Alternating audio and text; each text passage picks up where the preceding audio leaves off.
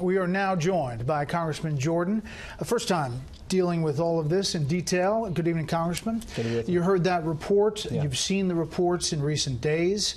Your reaction first to all of this? It's false. I mean, I never saw, never heard of, never was told about any type of abuse. If I had been, I would have dealt with it. Our coaching staff, um, we would have dealt with. These were our student athletes. A good coach puts the puts the interests of his student athletes first. We would have dealt with it if we'd have known about anything that happened. Um, if in fact there are victims, they deserve justice. There's an investigation going on. We're going to, I think, meet with them next week. We want the investigation to, to get to the truth. That's what we need here is the truth. All right, take a listen to uh, DiSabato from one of the statements he made earlier this week. I know Jim knew about uh, the what I call the deviant sexual uh, atmosphere that we were How do exposed you know? to. How do you know? Well, I, we all had conversations. Uh, Jim was more like a big brother than a coach. It was something that we would discuss on a regular basis, mainly with nervous banter, locker room banter. Now there are five, at least five. One Politico is saying there's six. Where are these guys coming from? conversations in a locker room are a lot different than um, allegations of abuse or, or reported abuse to us. I mean, I've been, been around the sport of wrestling my entire life. Uh, kids wrestling, junior high wrestling, high school wrestling, University of Wisconsin, coached at Ohio State. I got two boys who wrestled for the Badgers. I got, I got four nephews who wrestled at Ohio State, another nephew who wrestles for Iowa. Uh, conversations in a locker room are a lot different than people coming up and talking about abuse. No one ever reported any abuse to me. If they had, I would have dealt with it.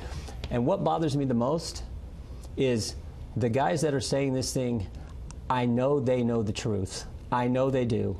Dunyasha Yetts, he wrestled for. I, I, we, we trained with these guys every day, sometimes twice a day, and and for, for I know what they're saying. I know they know what they're saying is not accurate. So, what do you think the motivation is then?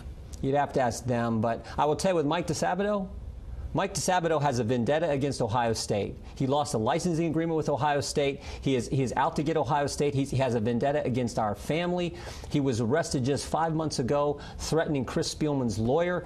Um, and Chris Spielman, he, he, he's got all kinds of lawsuits against him. And what bothers me more than that is the fact that CNN puts him on TV three times in one day.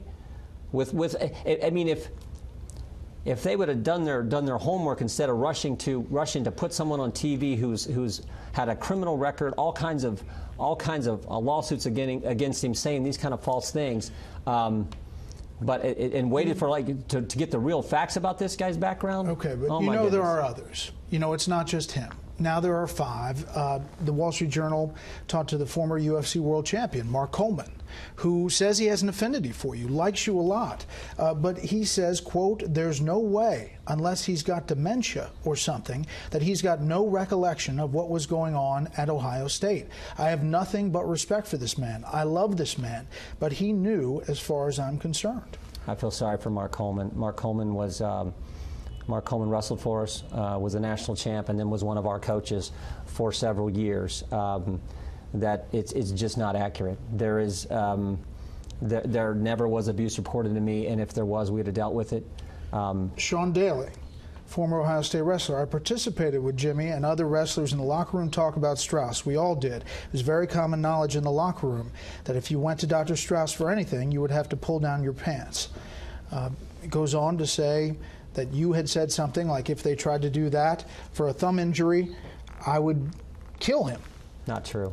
Did not say it. All right, but let me ask you, Congressman. You've got these guys that are now on the record.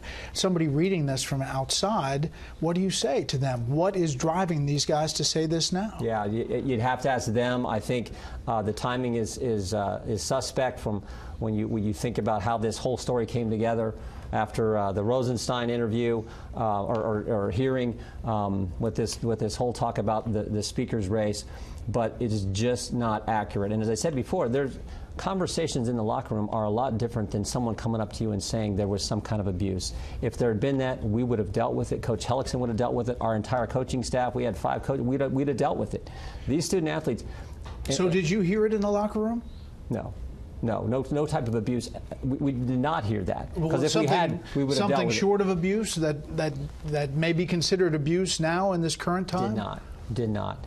Um, and and again, the, th- that's the part that bugs me the most is these guys you, you invest so much time with them i remember Dunyasha Yetts competing um, and, and just I I remember in the Big Ten semifinals, this this guy in a match where he was he was in a situation where he was getting hurt and uh, uh, going out on the mat and helping this guy when when it happened. It's just it is just it's so frustrating.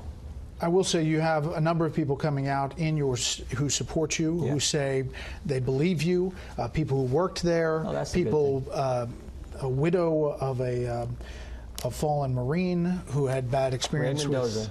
Ray Mendoza wrestled for us.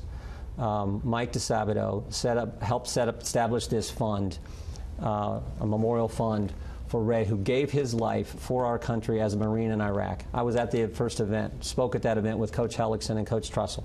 Um, and Karen Mendoza, Ray's widow, had to shut that event down, had to shut that, that fund down because of uh, Mike couldn't account where, for, uh, where the money was going. Had to go to the Attorney General to shut that down.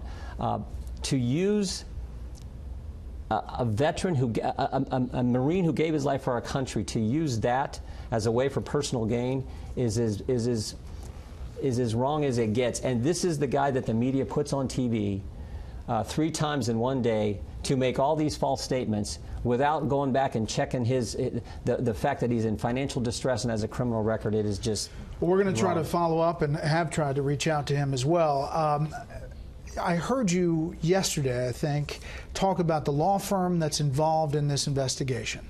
It is the same law firm you mentioned that dealt with the dossier that Yeah. you are obviously dealing with. Yes.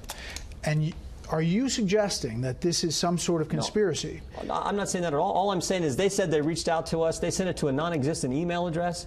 So think about This is Perkins and Court. Perkins Coie, the Hillary Clinton's law firm. So the same law firm that can that can uh, find an ex-British spy to put together a dossier to go after President Trump can't find a congressman's email address, can't get a hold of me, and then they tell the press we reached out to him, he didn't respond. That is just complete bogus. And, and I mean, Brett, when I go when I, we have one of these hearings in Congress. I tell you one thing, every liberal in the country seems to be able to find our phone number and find our address and call us up.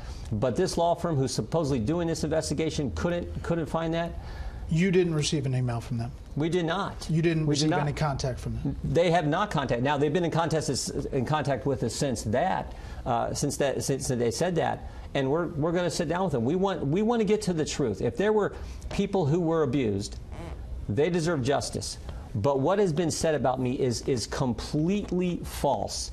And it's been said by one individual who spent 18 months in prison for fraud, another individual who has this vendetta against Ohio State, who was bilking a fallen Marines fund, who, who has numerous lawsuits and, and was arrested. Uh, that's you- the kind of guy the press puts Just on to be TV. clear, you- for the guys who have also come out, Mark Coleman, Sean Daly, who said he was groped a half dozen times by Dr. Richard Strauss, you don't know their motivation.